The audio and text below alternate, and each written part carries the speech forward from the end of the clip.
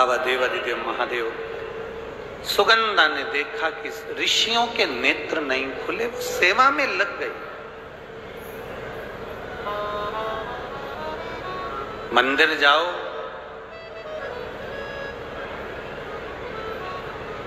सत्संग में जाओ।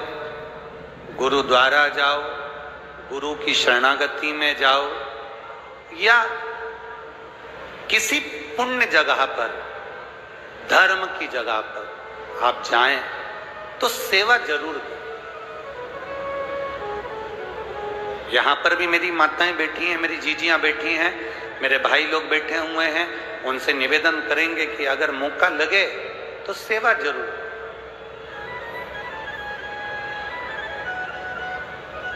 जो सुख है सेवा में, वो सुख दुनिया में कहीं नहीं मिलने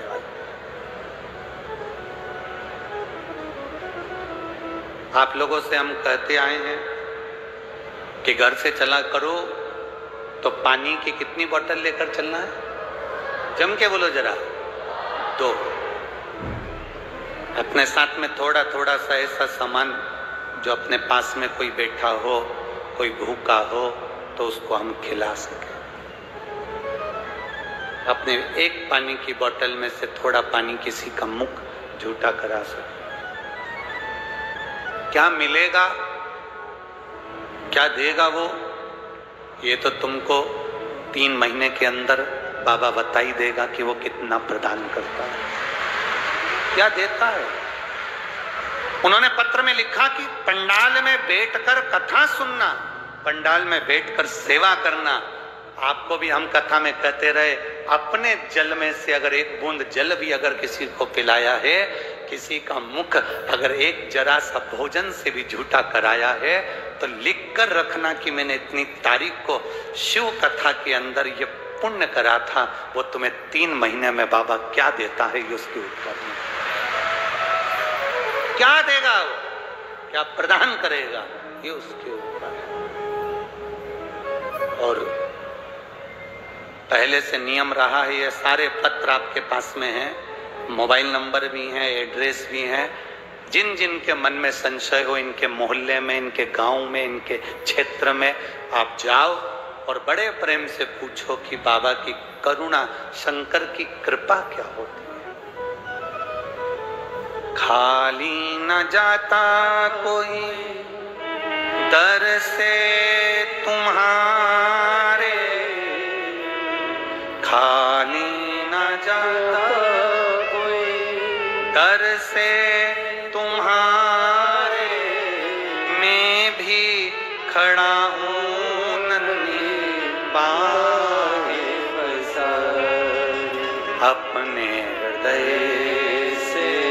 लगा लो लगा लो गिरी जा रही हो उठा लो भोले अपने दर से, अब तो न टालो। गिरा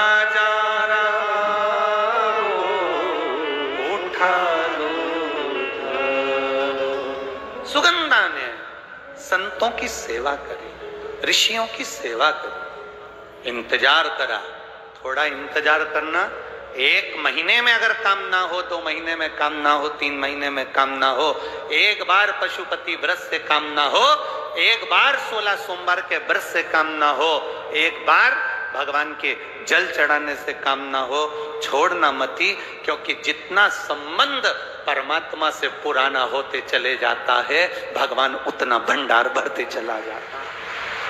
संबंध पुराना। संबंध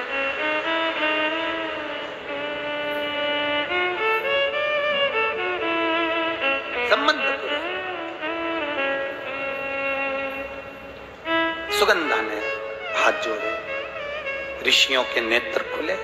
इंतज़ार करती रही थी, इंतज़ार। शिव को जल चढ़ाने वाले एक बात याद रखना, थोड़ी प्रतीक्षा ज़रूर करनी। परीक्षा वो करेगा, प्रतीक्षा तुम करिए। शिव को जल चढ़ाने वाला, प्रतीक्षा करना, इंतज़ार करना। इतनी जल्दी डोलना मती कि मेरा काम नहीं हुआ तो मैं मंदिर नहीं जाऊँगी। मेरा काम नहीं हुआ तो मैं शंकर जी के मंदिर नहीं जाऊँगी।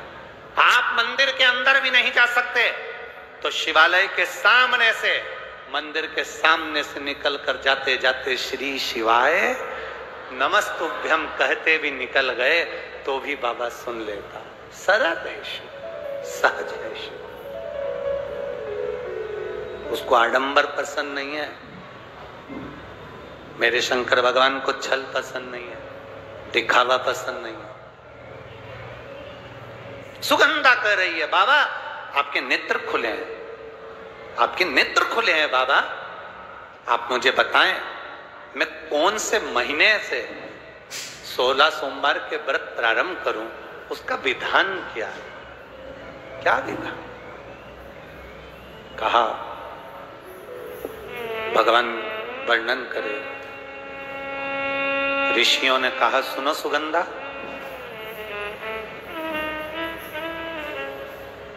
ये सोलह सोमवार का व्रत कोई साधारण नहीं है। सुगंधा, संतान की प्राप्ति के लिए अगर सोलह सोमवार का व्रत उठाया जाता है तो श्रावण के पहले सोमवार से उठाया जाता है। कब से उठाना चाहिए? श्रावण का पहला सोमवार। सुनो सुगंधा, यदि कोई विशेष बीमारी हो गई, बहुत रोग हो गया, तकलीफों में ज़िंदगी चल रही हो, बहुत कष्टप्रद जीवन चल रहा तो बैसाख के महीने के पहले सोमवार से सोलह सोमवार का व्रत उठाना चाहिए। और सुनो सुगंधा, उत्तम वर, उत्तम घर, व्यापार, व्यवसाय, नौकरी, पद, प्रतिष्ठा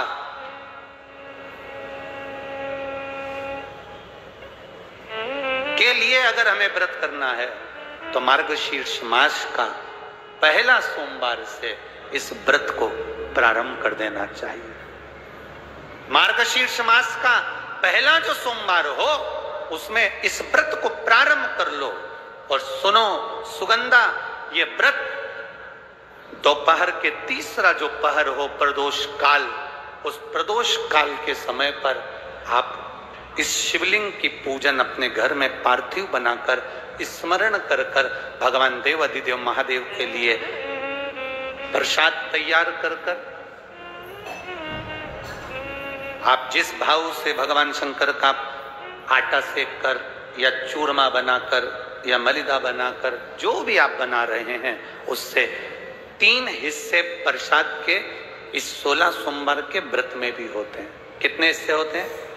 तीन हिस्से पशुपति व्रत में सोलह सोमवार के व्रत में एक अंतर भारी है। पशुपति व्रत में दो हिस्से मंदिर में रह जाते हैं। एक हिस्सा अपने साथ आता है और स्वयं को खाना पड़ता है। पर सोलह सोमवार के व्रत में यह भाव है, एक हिस्सा भोलेनाथ का रहता है, दूसरा हिस्सा भक्तों के लिए, शिव भक्तों के लिए रहता है और तीसरा हिस्सा आपके लिए रहता है। यदि पूरा ना पा सकें तो दूसरे को भी आपके हिस्से का प्रसाद दे सकते हैं। प्रदान कर सकते अब आ जाओ। बड़ा सुंदर प्रसंग।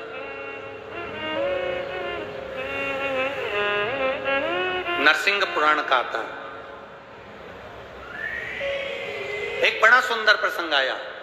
सोलह सोमवार के प्रसाद को कई माताएँ जब सोलह सोमवार का उद्यापन करती हैं, सोलह जोड़े आमंत्रित करती हैं और सोलह जोड़ों को घर में बुलाकर जब भोजन कराती हैं तो वो सोलह जोड़े जो भोजन करने वाले होते हैं या सोलह सोमवार के उद्यापन हम तो आपसे यहाँ तक कहेंगे कि 16 सोमवार का उद्यापन अगर किसी के यहाँ मोहल्ले में, कॉलोनी में, घर में किसी के यहाँ हो रहा हो तो उसके यहाँ आप भोजन भंडारा खाने के लिए जाओ, चाहे मत जाओ, पर 16 सोमवार का अगर प्रसाद का, उद्यापन का अगर प्रसाद मिल जाए तो दोनों हथेलियाँ फैलाकर श्री शिवाय नमस्तुभ्यम कहकर, ओम नमः शिवाय बोलकर, नमः शिवाय बोलकर अपनी कामना कर कर किसी के अगर उद्यापन हुआ हो, दोनों हथेलियाँ फैलाकर उससे थोड़ा सा प्रसाद मांग कर उसी के दरवाजे पर खाकर आ जाइए, आपकी ज़िंदगी को सुख का अनुभव हो जाए।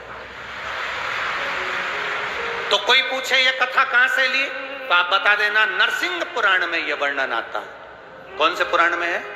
नरसिंह पुराण में वर्णन आया कि एक बहुरोमा नाम का एक दैत्य था।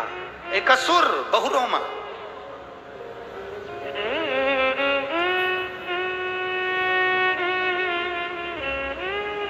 एक बार बहुरोमा नामक का ये दैत्य असुर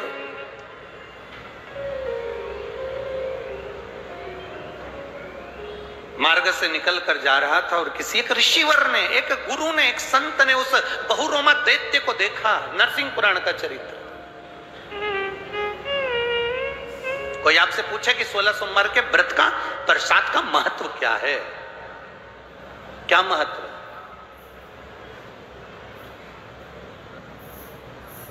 बहुत ध्यान देना।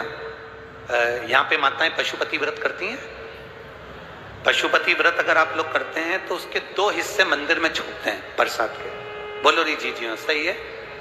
मंदिर में आप जो प्रसाद के दो हिस्से छोड़कर आती हो बहुत सारी माताएँ व्रत करती है और माँ प्रसाद के हिस्से रखे रहते हैं। मंदिर का पुजारी हो, मंदिर के पंडित जी हो, या मंदिर की कोई नारी, कोई पुरुष, कोई बच्चा, कोई बड़ा, उस प्रसाद को एकत्रित कर लेता है और उस प्रसाद को जो भक्त लोग दर्शन करने आते हैं, जिनका पशुपति व्रत नहीं रहता, या जो दर्शन करने आए या गाँव के बच्चे हो, नगर के बच्चे हो, कॉलोनी के बच्चे हो, उनको वो प्रसाद जो वितरण किया जाता है, शिव महापुराण की कथा कहती है, हज़ारों हज़ारों अश्मिक यज्ञ का जो फल प्राप्त होता है, वो मात्र वो प्रसाद के वितरण से उसके पाने से प्राप्त हो जाता है। आप लोगों में से कोई माता ने करा कभी ऐसा? अगर कोई प्रसाद चढ़ा कर गया, पशुपति नाथ व्रत का दो हिस्सा छोड़ कर गया। और मात, बहुत सारी माताओं ने छोड़ दिया और वो सब चली गई। उसके बाद वो प्रसाद रखा रहता है। तो उसको एक तसले में, एक पात्र में एकत्रित करना चाहिए और उसको बांटना। हज़ारों अश्वेत यज्ञ के फल के बराबर वो पुण्यता पशुपति नाथ के व्रत को वितरण करने की, उसको पाने की।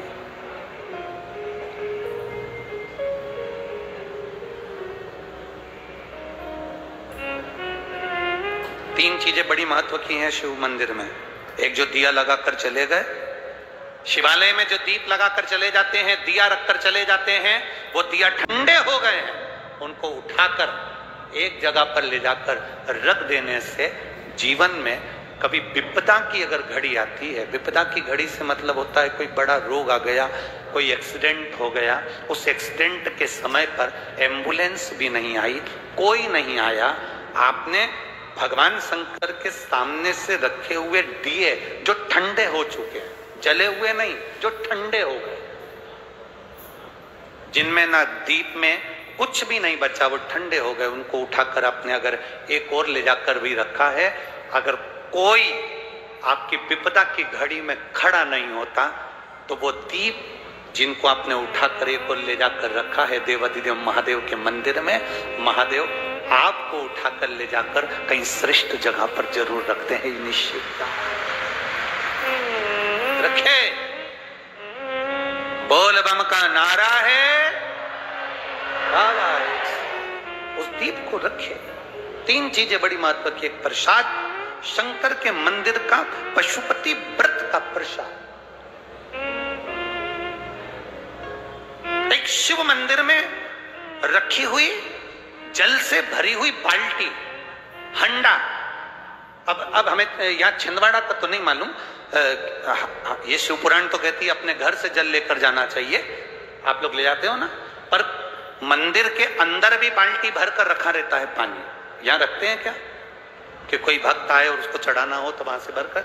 वो बाल्टी, वो हंडा, अगर तुम्हें दिख रहा है कि खाली है, और बावड़ी, कुआँ, नल दूर है या बाहर है तो प्रयास करना कि वो बाल्टी, वो हंडा, वो घगरा आप उसको भरकर मंदिर में ज़रूर रख कर आना।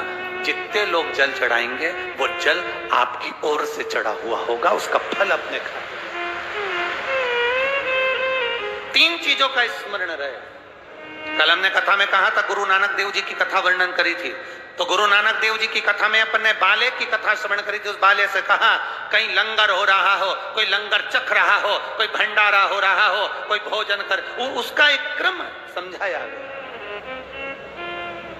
कल की कथा में आज की कथा में अपन ये श्रवण कर ये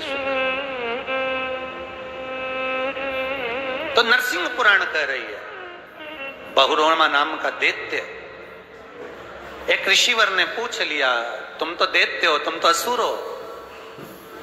पर समझ में नहीं आया कि तुम दैत्य असुर होकर ये शंकर जी के मंदिर के बाहर क्यों बैठे रहते एक एक ऋषिवर ने, गुरुवर ने पूछ लिया, एक संत ने पूछ लिया।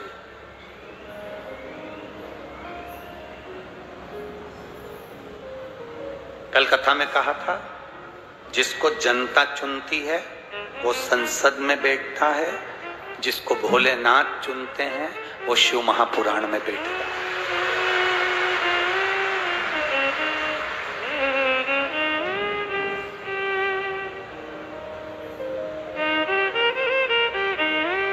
तो वो कहे जो नाम उनका लेवे भोले जी दर्शन देवे, भोलेनाथ ब्यूटीफुल जो नाम उनका लेवे भोले जी दर्शन देवे भोलेनाथ ब्यूटीफुल शिव, अकेले ब्यूटीफुल नहीं।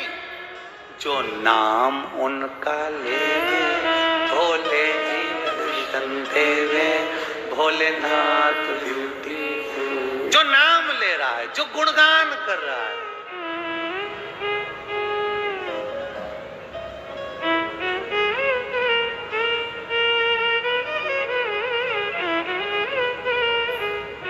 तन पर बाघंबर पहने गले सर्पों की माला।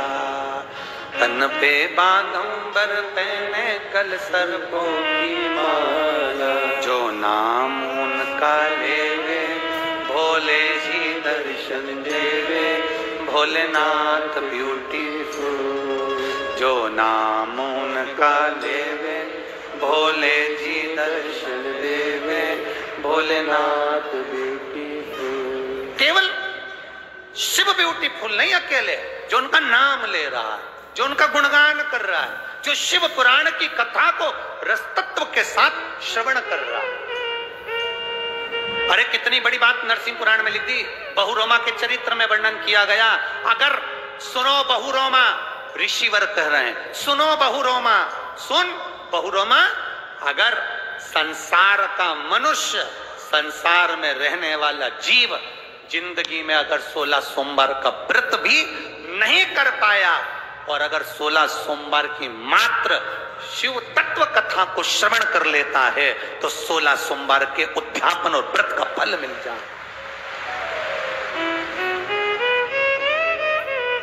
आस्था चैनल पर जितने लोग कथा सुन रहे हैं फेसबुक यूट्यूब पर जितने लोग कथा सुन रहे हैं, इस सुंदर छिंदवाड़ा की पवित्र भूमि पर जितने लोग कथा सुन रहे हैं, और जो छिंदवाड़ा वासी रह गए उनसे निवेदन है, अगर मौका मिले तो जीवन में दूसरी बार बार बार शिव पुराण अपने छिंदवाड़ा में नहीं आएगी। बड़ी मुश्किल से कहीं आदरणीय, माननीय कमलनाथ जी की इस चित्त वृत्ति में ये कथा बैठी और उन्होंने इंदौर में आकर निमंत्रण दिया। इंदौर में जब संजय शुक्ला जी की यहाँ पर कथा चल रही थी उस समय पर जो निमंत्रण दिया, उस समय की कथा का क्रम आज यहाँ पर विराजमान हुआ है। कहीं भाग्य लेकर आए होगे तो ये कथा हम तो कथा कहेंगे, पाँच दिन पूरे होंगे, चले जाएँगे। पर ये विश्वास है हमारा, जिसने पाँच दिन इस कथा के पंडाल में बैठकर, मैं धन्यवाद दूँगा कई छिंदवाड़ा की माताएँ, छिंदवाड़ा की माताएँ पाँच दिन के लिए अपना अपना दरी, अपना अपना बैग लेकर छिंदवाड़ा की माताएँ, केवल यही छिंदवाड़ा की, वो भी अपना बैग ले लेकर पहुँची हैं कि पाँच दिन हम कथा सुने। आपको देखकर आज हमें उज्जैन की कथा याद आ गई। उज्जैन में, उज्जैन के लोग कथा पंडाल में रह रहे थे।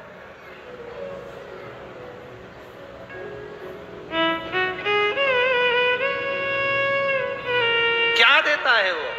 वो उसी के हाथ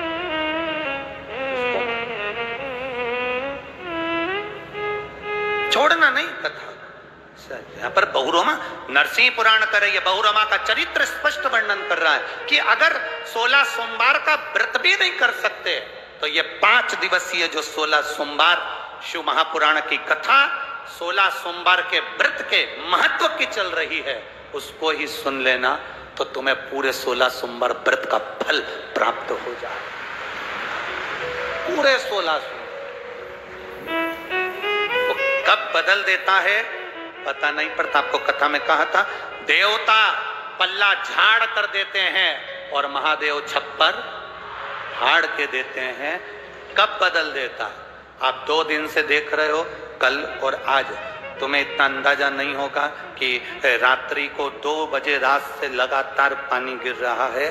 जो सावन के महीने में गिरना था, वो भादों में गिर रहा है। ये भगवान भोलेनाथ है। सावन को कब भादो कर दे और भादो को कब सावन कर दे, ये उसी के हाथ है। उसका कोई ठिकाना कोई भरोसा आप करो उसकी भक्ति। आप करो उसका स्मरण। हम आपसे कहेंगे, कभी मौका मिल जाए। आप दिन में कथा नहीं सुन सकते तो रात्रि में सोलह सोमवार व्रत कथा को अपने मोबाइल पर श्रवण करो। पर सुनो। बहुरोमा, तू तो दैत्य है, तू तो असुर है, और असुर होकर, दैत्य होकर, तू शंकर के मंदिर के बाहर बैठा है। बहुरोमा ने कहा, मेरे पूर्व के संस्कार होंगे। बहुरोमा कहता है, मैं चंद्रवंश के राजाओं में एक राजा था, मेरा नाम जयध्वज था। सोलह सोमवार व्रत का बड़ा भाव। मैं चंद्रवंश के राजाओं का राजा था मेरा नाम चंद्रवंशी राजाओं में था, मेरा नाम जयध्वज था। मैं जयध्वज, मेरा नाम जयध्वज था। मैं अपने सिंहासन पर बैठा राज सत्ता का आनंद लेता था। एक बार मेरी चित्त वृत्ति में आया तो मैंने देवताओं के पास में जाकर निवेदन करा। गुरुजनों से पूछा, मुझे चंद्रवंश का राजा जयध्वज बनाया गया। ये जयध्वज मुझे राजगद्दी किस पुण्य से प्राप्त हुई है?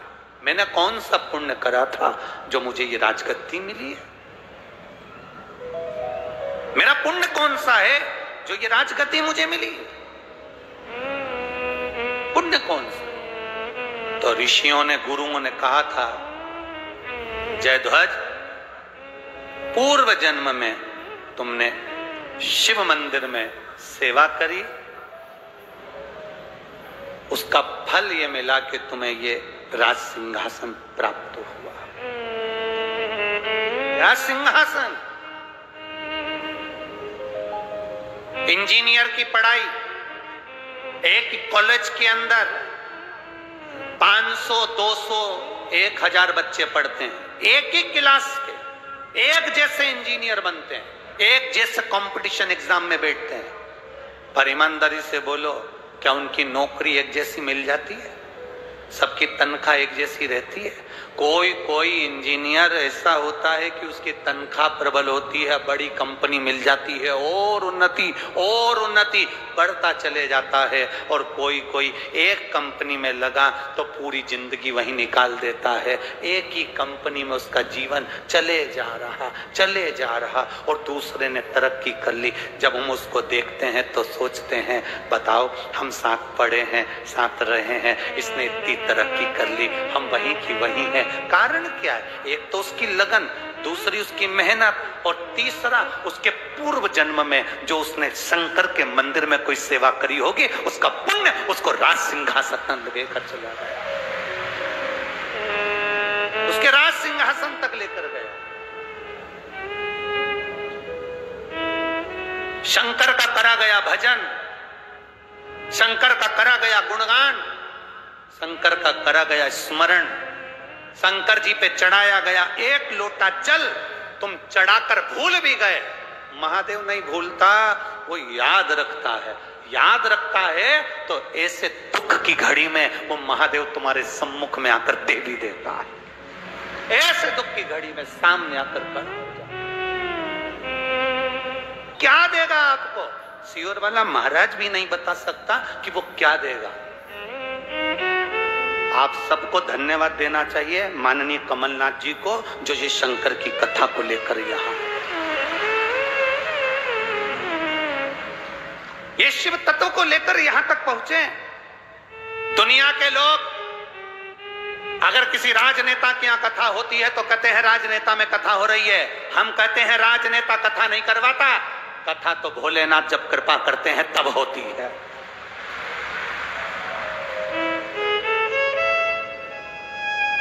शिव कृपा करें, तब कथा होती है। वो तो ये छिंदवाड़ा वालों ने शंकर जी को सावन के महीने में खूब जल चढ़ाया होगा तो बाबा ने करुणा कर कर भादों में बुला लिया। ये शिव तत्व की प्राप्ति। शंकर की उदारता, शंकर की करुणा है। उनकी उदार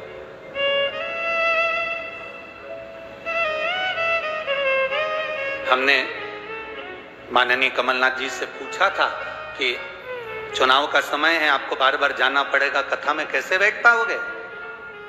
कहा गुरु जी छिंदवाड़ा वासियों के लिए कथा है, संपूर्ण प्रदोष और संपूर्ण देश के लिए कथा। मैंने आपकी कथा मोबाइल पर बहुत सुनी है, गुरुदेव। बस एक अभिलाषा है, छिंदवाड़ा की कथा भी मैं अगर यहाँ नहीं भी बैठ पाया तो मेरा नियम है मैं रात्रि को कम से कम तीन घंटा आपकी कथा ज़रूर सुनूँगा। ये शिव तत्व की प्राप्ति इसको औघड़ी कहते हैं, शंभु कहते हैं। हमने पूछा, रात्रि को सोते कब हो? गुरुदेव, कार्य बहुत रहता है। राजनीति के अंतर्गत तो जगना भी बहुत लेट तक होता है। फिर तो सुबह लेट उठते हो नहीं नहीं गुरुदेव, उठना भी जल्दी पड़ता। कोई भी सदस्य जब चाहे तब हमको फ़ोन लगा कर देख ले, हम जगह की जगह ही मिलेंगे। हम जागे की जागे ही मिलेंगे। ये शिव भक्ति का एक तत्व है। कथा कब सुने? कथा का स्मरण कब करे? कथा रस तत्व कब? अभी हमने आपको कहा, सुनो, श्रवण कर। हमने इंदौर में एक बार कथा में कह दिया था कि जो तुम कथा यहाँ से सुनकर जाते हो, वो अपने घर के लोगों को सुनाओ। एक नई नवेली बहू जिसकी शादी छह महीने हुए थे, वो कथा में आके बैठ गई। घर पे जाकर कथा सुना देती, उसका पति तीसरे दिन कथा में आ गया। पत्नी ने कहा, गुरुदेव, आज मेरे पति आए हैं। हमने उससे पूछ लिया तो दो दिन कथा में नहीं आया, आज कैसे आया? उसने कहा, रात को नौ से बारह सुनने से अच्छा है, दिन में दो से पाँच सुन लो। कथा सुन के आती है, पूरी कथा मुझे सुनाती है। जरा सा भी नींद का झपका लगता है तो पाँव दबाते दबाते चिमटा तोड़ देती है। सात दिन की कथा में पाँच बार चिमटा खोड़ दिया इसमें गुरुदेव, इसलिए मन कर गया मैं तो कथा में जाकर बैठ जाऊँ। तो ये जितने जीजा बैठे दिख रहे हैं सब। इनको मालूम है घर जाएँगे, वो सुनाएगी। सुन लो अच्छा है। अब इनने सोचा, अपन जाकर सुना देंगे कि आज महाराज सियोर वाले ने ये बोला है। तत्व की प्राप्ति करिए। ये ये चंदन नगर में रहने वाली बहन लिख रही है, जिसका बेटा पलंग पर पड़ा रहता था, नहीं सुनता, विकलांग। वो भी जल चढ़ाकर पहुँच गए। हमारे पास कोई विद्या, हमारे पास कोई भभूति, हमारे पास कोई मंत्र, हमारे पास कोई बेल, हमारे पास कुछ भी नहीं है। केवल एक ही चीज़ है कि आपके घर के पास जो शंकर का शिवालय हो, वहाँ जाओ, शंकर को रिझाओ, वो तुम्हारा हो जाए, तुम उसके हो जाओ, इसके सिवाय कुछ नहीं। कुछ भी नहीं। कई लोग कहते हैं, हमें गुरु जी से मिलना, हमने कहा, हमसे मिलकर क्या करोगे? गुरु से मिलने की इतनी तमन्ना रखते हो एक बार बाबा से मिलने की तमन्ना रखी है, वो मिल सकता है। उससे मिलिए, हमसे मिलकर क्या करोगे? हम तो आपके जैसे जैसा आपका शरीर, वैसा हमारा शरीर। दो रोटी तुम भी खाते, हम भी खाते। तुम भी आनंद में जीते, हम भी आनंद में जीते। तुम भी एंजॉय हम भी एंजॉय काय को फालतू का टाइम बर्बाद करो। भगवान का भजन करो। स्मरण करिए शिव भक्ति करिए, भजन में डूबिए, जितना कर सकते हो भगवान का गुणगान करिए। दुनिया के लोग महाराजों के पीछे, गुरुओं के पीछे दौड़ते रहते हैं। हम नहीं चाहते कि तुम हमारे पीछे दौड़ो, क्योंकि हम, हमारे चक्कर में नहीं रहना, चक्कर में तो एक के ही रहना। वो है काल अधिपति मेरा शिव और घड़तानी मेरा महाकाल राजा, मेरा शंभु, मेरा उग्रतानी। कहा सुगंधा। व्रत करे। बहुरोमा दैत्य है और दैत्य बहुरोमा को पूछा, जय ध्वज नाम जय ध्वज। अब जय ध्वज, जब नाम है, जय ध्वज, तुम्हारे पास में ये सत्ता, ये राज सिठाट ये सिंहासन, ये आनंद तुम्हारे पास कहाँ से आया? तो का पूर्व समय में मैं शंकर के मंदिर में सेवा किया करता था, उसका पुण्य मेरे खाते में आया, जिससे मुझे चंद्रवंश का राजा जय ध्वज बनाया गया। परंतु मैंने एक गलती कर दी। एक बार देव ऋषि नारद शिव जी पर जल अर्पित कर कर आ रहे थे और उनको देखकर मैंने हंस दिया। आपसे निवेदन है शंकर जी के मंदिर से कोई स्त्री आए, कोई पुरुष आए, कोई बच्चा आए, कोई बूढ़ा आए, कोई कैसा भी व्यक्ति शंकर जी के मंदिर में जल चढ़ाने जा रहा हो, जल चढ़ा कर आ रहा हो, आप दुनिया पर कमेंट्स करना, आप दुनिया पर अपशब्द कहना, आप दुनिया पर उंगली उठाना, आप दुनिया को ताना देना, पर शंकर जी पे जल चढ़ाने वाले को कभी ताना मत देना, क्योंकि उसका जवाब वो नहीं देता, उसका जवाब महादेव देता उसका जवाब महादेव देता। शंकर का भक्त कभी जवाब नहीं देगा। जवाब देगा, शंकर, भगवान शिव, मेरा ओ घड़ी मेरा दयालु, मेरा दाता। जवाब वो दे। मैंने गलती कर दी। जय ध्वज कहते हैं, मैंने गलती कर दी। गलती क्या करी? देव ऋषि नारद शिव जी के मंदिर से आ रहे थे, जल चढ़ाकर मैं उनको देखकर हंस दिया। हंसा में। कई लोगों की आदत रहती है, जल चढ़ाने वालों को देख कर रस देते हैं, बताओ काशी और वाले महाराज के चक्कर में पड़ी है, ढोंगी हो गए, ढोंग हो गया, प्रपंच हो गया, ये हो गया। ना ना ना, आग लगे, बस्ती में अपन रहो, मस्ती में। क्या किसको रोई है चादर तान के?